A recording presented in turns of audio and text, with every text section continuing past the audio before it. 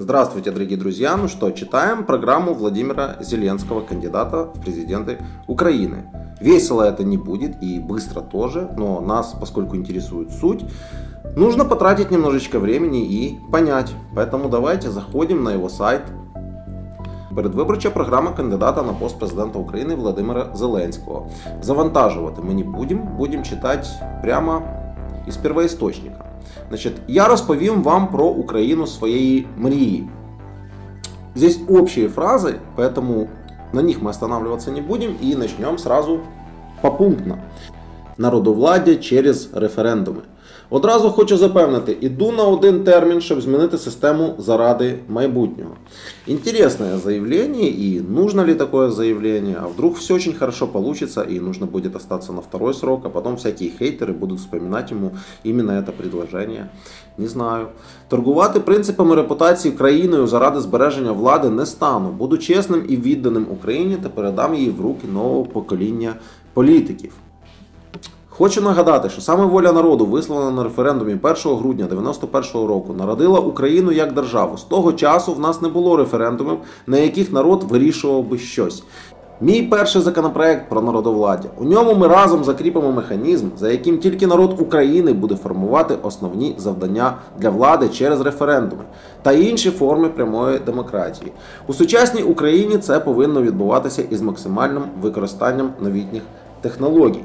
Вот прям с нетерпением жду я закона про прямое народовладие. Я еще хотел бы реализовать свое законное право проголосовать на референдуме по вступлению, по вопросу вступления Украины в НАТО. Потому что, вы знаете, они сейчас проголосовали э, депутатским большинством, но это делает этот закон неконституционным, потому что у нас в Конституции прописано, что именно по таким вопросам должен высказываться на референдуме народ. А следите за красотой игры просто. Инициативы по вступлению Украины в НАТО абсолютно бесполезные инициативы, но это вопрос вообще другой. Начались в 16-17 году. В 18 году, видимо случайно, отменяется закон о всеукраинском референдуме. Признали, что э, он был принят э, и было кнопкодавство. Вот по этому закону было кнопкодавство, а по всем остальным как будто бы не было. И в 2019 они принимают закон о вступлении Украины в НАТО, то есть о прописании этого э, пути в Конституции. Подписывают его тут же Порубий и президент. Все. Галимые наперсточники. Ладно, возвращаемся к программе и сразу же хочу обратить ваше внимание на текст, выделенный синим. Все эти ссылки выводят на одно и то же видео. Давайте сразу же его один раз посмотрим от начала и до конца, чтобы каждый раз не перепрыгивать. Доброе утро, друзья. Многие задают вопрос, а что же у него с программой? Я кое-что вам прочту. Итак, ні монополіям соціальні гарантії кожному. Конкуренція у великому бізнесі і гарантії малому підприємництву, антикорупційна люстрація, відміна депутатської недоторканості, стабілізація гривні, збільшення видатків на медицину в 10 разів, менші податки на зарплату, скасування ПДВ та ЄСВ, ставки зменшити, всі офшори перекрити. Знаете, что это? Это цитаты разных предвыборных программ разных политиков. И сейчас, внимание, вопрос. Где здесь чье? Вопрос номер два. Что из этого выполнено? А, мне кажется, старые политики живут простым очень принципом. Ни у кого ничего не спросили, многое пообещали, ничего не сделали. Я поступлю по-другому. Мы напишем мою программу вместе с тобой. Мы напишем вместе с людьми, всей страной. Потом найдем пути решения всех проблем, а затем воплотим их в жизнь. Итак, крок номер один. Напиши, будь ласка, п'ять головних проблем України, які турбують саме тебе. Напиши пять проблем нашей страны. Пожалуйста, начнем с этого. Честно вам сказать, я ответов на вопросы не получил. Э, сам тот факт, что идут ссылки на это видео, э, говорят о том, что это видео должно что-то объяснять. Но это видео не объясняет, это видео как бы задает вопрос или наводит на ту мысль, что мы должны решить это все вместе и должны что-то здесь вот предлагать. Хотя, собственно, вот по первому пункту предлагать особенно нечего. Референдумы, окей, форми прямої демократії. Very good и використання новітних технологий – это общепонятные вещи, которые уже давно используются в ряде э, цивилизованных государств. Все, что нужно, это просто применить их у нас. Идем дальше. Людина вища цінність. Держава для людини, а не людина для держави. Повага до людської гідності повинна стати основним принципом у діяльності держави. Реформи мають позитивно відображатися на кожній людині, а не на десятьох сім'ях. Моя мета побудувати державу, яка надає своїм громадянам якісний сервіс. Для цього потрібно максимально скоротити кількість функцій держави. Менше держави в житті людини, більше людини в житті держави. И снова ссылочки выводят нас на то же видео. Пожалуйста, демонстрирую. Ну, просто на всякий случай, чтобы вы понимали. Следующим пунктом у нас идет справедливість і рівність усіх перед законом. Е, Первых два абзаца пропускаємо общі фрази. Далі інтересно. Впроваджувати рівність та справедливість почну із себе. Мої законопроекти у цьому напрямі. Про зняття недоторканності з президента України, народних депутатів і суддів, про імпічмент президента України, про відкликання народного депутата України. Ніяких корочок, ніякого телефонного права, невідворотність відповідальності та справедливе і законне покарання. Основа чесної України. Вибори до парламенту та місцевих рад мають проходити за відкритими списками. Кнопкодавство автоматична підстава для позбавлення депутатського мандату. Судова гілка влади повинна стати саме владою, а не прислужником у президента, уряду, парламенту чи місцевої влади. Ми повернемо довіру і повагу до суду. Для простих спорів мирові судді, які обираються народом. Для кримінальних злочинів ефективний суд присяжний, який складається з народу. Ну, это, ребят, прямо вау. Все, что было сказано про зняття недоторканності, імпічмент, невідворотність покарання і справедливе законне покарання, про вибори до парламенту и про кнопкодавство, это как бы, в общем-то, то, что говорят все, но никто потом не делает. А вот про суд, особенно про суд для кримінальних злочинів, ефективний суд присяжних, який складається з народу, это действительно супер. И я об этом множество раз писал в Фейсбуке, множество раз говорил уже в Ютубе. Это действительно единственный вариант решения, как разорвать порочную связь. Полиция, прокурор, суд, где все они работают в связочке, а адвокат остается простым наблюдателем. Так вот, чтобы разорвать эту порочную связь, действительно нужен суд присяжных. И тогда люди будут выносить решение, виновен, невиновен. И поверьте, оправдательных приговоров станет не то что больше, а их будет процентов 40-50. Очень правильно. Выполнит ли это Владимир Зеленский? Мне это крайне интересно.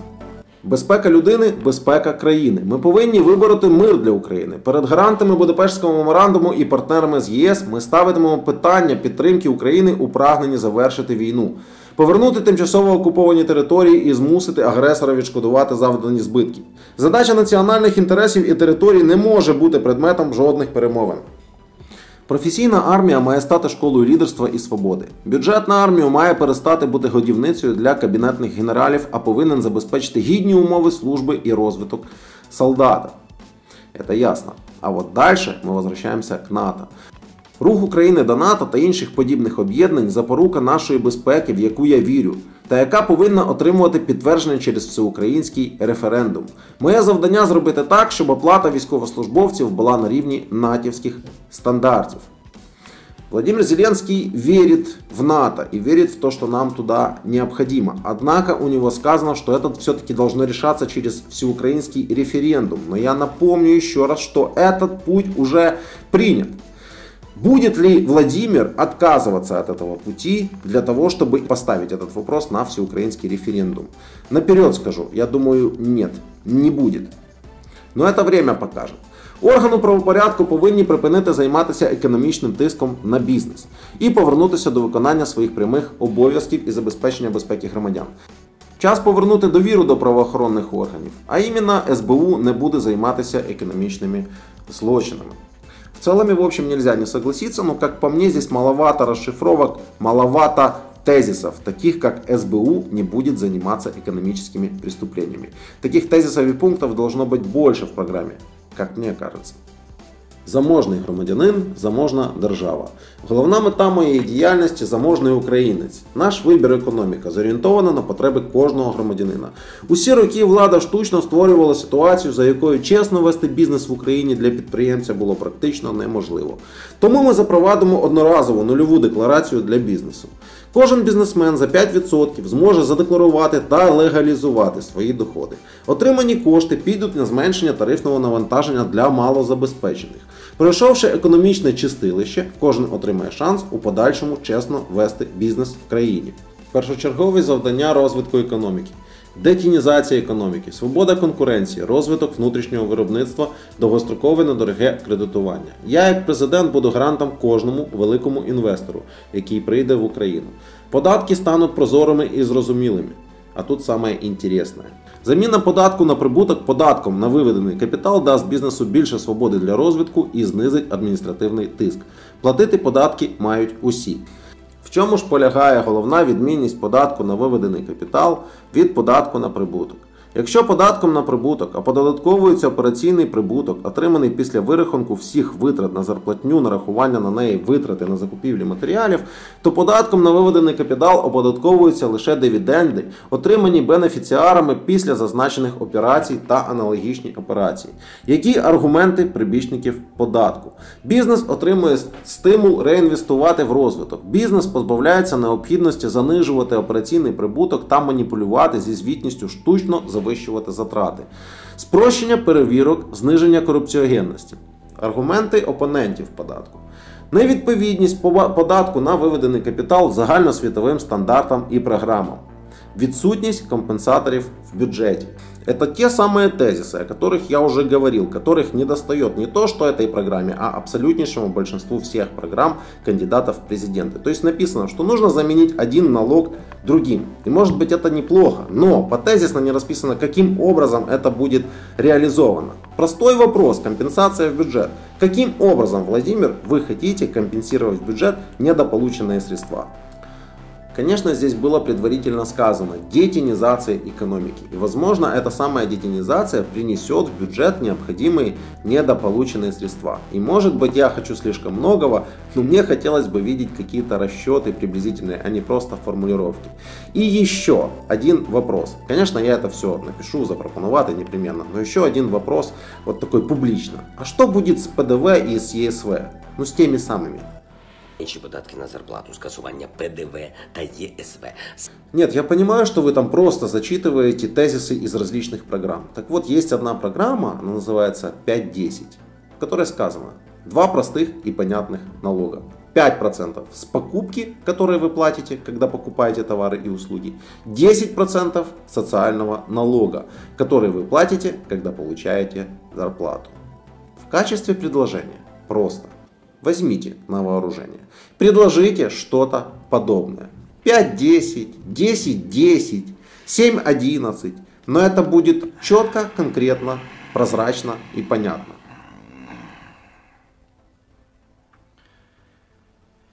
Да что ты, черт побери, такое несешь? Просто в качестве предложения. Йдемо далі. Формування прозорого ринку землі. Україна повинна перейти на забезпечення своїх потреб коштом власних енергетичних ресурсів, ставши згодом їх експортером на європейський ринок. Необхідно впровадити економічний паспорт українця. Кожна дитина матиме право накопичувати на своєму рахунку частину від реалізації державних природних благ, надра землі тощо. Після досягнення повноліття дитина отримує ці накопичення як власний стартовий капітал. Українець повинен стати основним акціонером України. Найбільша країна Європи не може бути найбіднішою. Что касается паспорта, собственного счета для каждого украинца и начислений по достижению совершеннолетия, это все более-менее понятно, и это хорошо. Однако вернемся к основному тезису – формування прозорого рынку земли. Из трех абзацев, которые я только что прочитал, я не вижу, что именно имеется в виду. Детали. Каким образом будет формироваться этот прозрачный рынок земли? Путем продажи земли, путем долгосрочной аренды, Смогут ли иностранные инвесторы выкупать десятками гектаров украинскую землю? Или нет? Если да, то на каких условиях? Хотелось бы детально.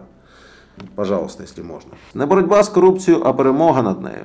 Засуджений за корупцію отримує конфіскацію майна і довічну заборону обіймати державні посади. Good. Новоствореним антикорупційним органам і Вищому антикорупційному суду максимальну державну підтримку.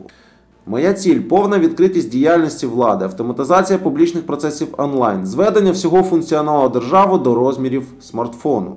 Мета не брати, не давати, а хто не зрозумів, саджати. здорова та освічена нація. Професії лікаря та вчителя повинні стати престижними і високооплачуваними.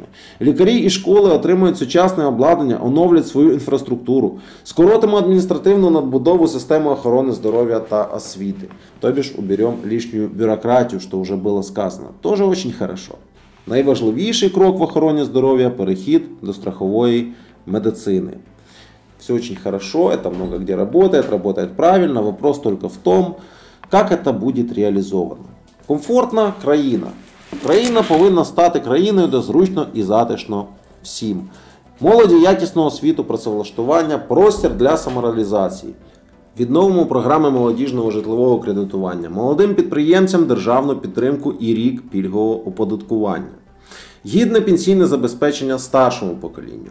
Країна потребує капітального ремонту інфраструктури, будівництво дорог за європейськими стандартами, автоматичний контроль ваги та швидкості автомобілів, відновлення аеропортів у кожному обласному центрі, підписання угоди відкрите небо з ЄС, усунення монополізму на транспорті. Мої пріоритети. Екологія країни це інвестиція в майбутнє покоління, введення європейських стандартів промислового і продовольчого виробництва. Україна має стати світовим екологічним продовольчим супермаркетом. Що мається на увазі? Мається на увазі сортування та переробка сміття, відмова від пластику, контроль за вирубкою лісів. Що стосується контролю за вирубкою лісів, то це дійсно надзвичайно важливо, тому що ви бачили, що зараз відбувається з Карпатами. У передмові у Володимира Зеленського сказано, що це буде припинено. Дуже на це сподіваюся. Електронна країна. Держава забезпечить усіх мешканців доступом до швидкого інтернету. Ми сприятимемо розвитку цифрової грамотності населення незалежно від віку. Этот пункт нужно понимать так, что каждой самой старенькой бабушке, в каждое самое забитое село будет подведен интернет. Причем подведен бесплатно, потому что это именно государство обеспечит. Вы верите в такой пункт? Напишите в комментариях, потому что я, если честно, даже и не знаю, как-то слишком хорошо. Уся інформація про формування та використання бюджетів, проведення тендерів, закупівель аукціонів буде в загальному доступі.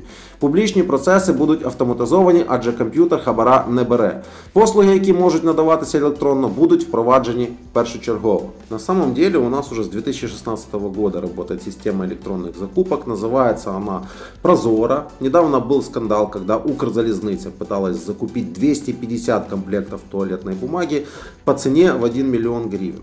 Но, тем не менее, продолжаются откаты, продолжаются тендеры для своих. То есть система в целом неплохая. Но вопрос не в том, чтобы пойти в правильном направлении или сделать что-то правильное. Вопрос в том, как это реализуется по ходу, как это контролируется. У меня остается надежда, что у Владимира Зеленского и у его команды хватит сил не просто придумать, подать и сделать первый шаг, а именно проконтролировать реализацию. Вот на это у меня есть надежда и, собственно говоря, не только у меня. Как видите, программу мы дочитали, но люди собираются голосовать за Зеленского вовсе не из-за программы, а именно из-за этой надежды, что у Зеленского есть совесть и он не растерял свои моральные качества, в то время как все остальные политики, по мнению народа Украины, их давным-давно растеряли. И это, безусловно, приговор всей политической системе Украины. И это вовсе не означает, что если я проголосую за Зеленского, то я в дальнейшем не буду его как-то критиковать. Наоборот, я буду внимательно следить за всеми его шагами, за тем, что он обещал и за тем, что он делает. Именно поэтому я уже сейчас начал за ним следить, потому что я где-то процентов на 90 уверен, что он станет президентом Украины. И также будут поступать все адекватные украинцы, потому что на данный момент их надежда логична и обоснована. Но надежда не должна быть слепой. Наоборот, она должна быть зрячей, ибо сказано, не сотвори себе кумира. Пока.